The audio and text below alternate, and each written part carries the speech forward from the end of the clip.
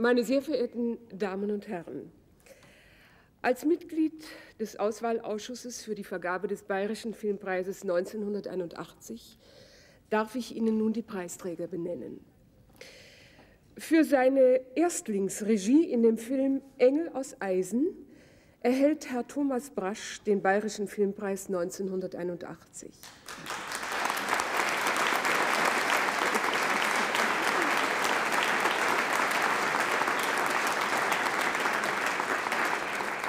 Dieser Preis besteht aus einer Replik des Pierrots aus der italienischen Komödie von Bustelli und ist verbunden mit einer Geldprämie in Höhe von 50.000 D-Mark. Ich darf Herrn Brasch jetzt auf die Bühne bitten.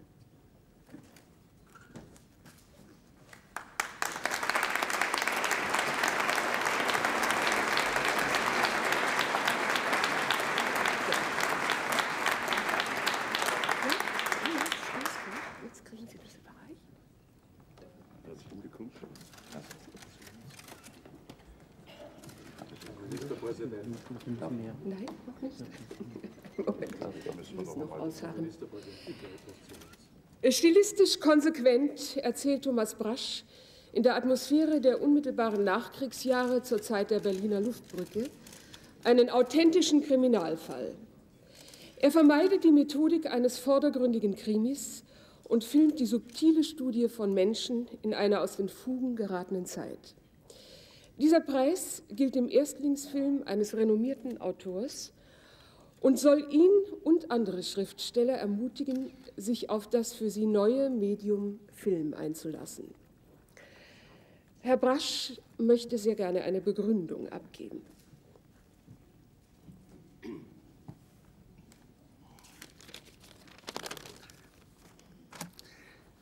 Der Umstand, dass ich diesen Preis aus den Händen des bayerischen Ministerpräsidenten dessen politische Haltung der meinen entgegengesetzt ist, annehme, hat unter meinen Freunden zu Auseinandersetzungen geführt. Ich möchte hier erklären, warum ich die Annahme oder Ablehnung dieses oder jenes Preises für ein sekundäres Problem halte, hinter dem ein wichtigeres zutage tritt. Unter den Widersprüchen, die unsere Zeit taumeln lässt zwischen Waffenstillstand und Krieg, zwischen dem Zerfall der Ordnung, die Staat heißt, und ihrem wütenden Überlebenskampf, zwischen dem Alten, das tot ist, aber mächtig, und dem Neuen, das lebensnotwendig ist, aber nicht in Aussicht, scheint der Widerspruch, in dem ich arbeite, ein geringer. Gleichzeitig ein Denkmal zu setzen, dem anarchischen Anspruch auf eigene Geschichte und dies zu tun mit dem Wohlwollen derer, die eben diesen Versuch unmöglich machen wollen und müssen, der Herrschenden nämlich. Obwohl, wie gesagt, nicht der wichtigste Widerspruch, ist er doch für den, der ihm ausgesetzt ist, der mit dem Geld des Staates arbeitet und den Staat angreift, der den subversiven Außenseiter zum Gegenstand seiner Arbeit macht und sich selbst zur gleichen Zeit zu einem Komplizen der Macht, ein entscheidender. Er ist der Widerspruch der Künstler im Zeitalter des Geldes schlechthin. Und er ist nur scheinbar zu lösen mit dem Rückzug in eine privatisierende Kunstproduktion oder mit der Übernahme der Ideologie der Macht. Beides sind keine wirklichen Lösungen, denn sie gehen dem Widerspruch aus dem Weg und die Widersprüche sind die Hoffnung. Erst sie ermöglichen den Bruch, der durch die Gesellschaft der Leistungen und der staatlichen Macht geht und durch jedes einzelne ihrer Glieder in ihrer ganzen Größe zu erkennen. Diese Gesellschaft hat sie geschaffen hat die Künste in die Zerreißprobe zwischen Korruption und Talent geschleift. Und nicht die Künste werden diesen Widerspruch abschaffen.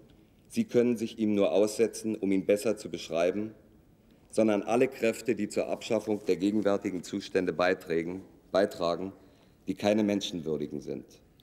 Davon handelt mein Film, auch wenn er von Kriminellen handelt, aber die Kriminalität ist der urwüchsigste Ausdruck der Auflehnung.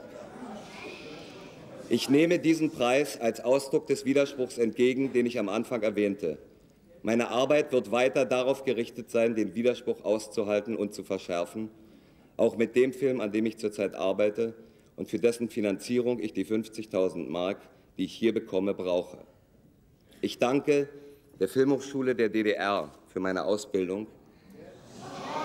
Ich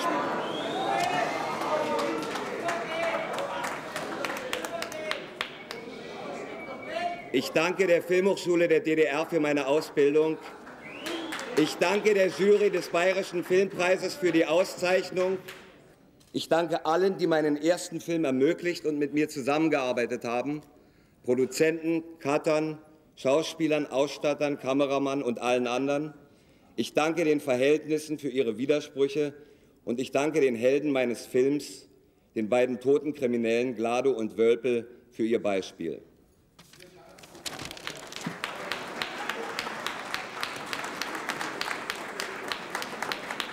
Und ich darf sagen, Herr Brasch, ich danke Ihnen, dass Sie sich als lebendiges Demonstrationsobjekt der Liberalitas Bavaricae hier vorgestellt haben.